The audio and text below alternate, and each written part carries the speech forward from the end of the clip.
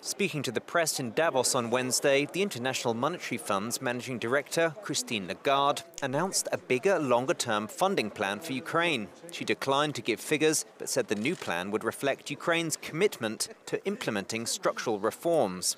We will be uh, happy to provide you with additional information, additional numbers, additional details.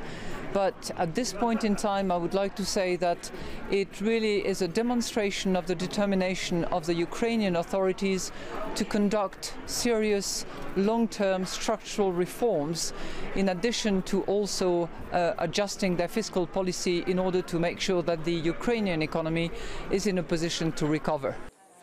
Ukrainian President Poroshenko cut his trip short and is on his way home to Kiev after Russia ramped up its military intervention in support of separatists who say they want to join eastern regions of Ukraine with Russia.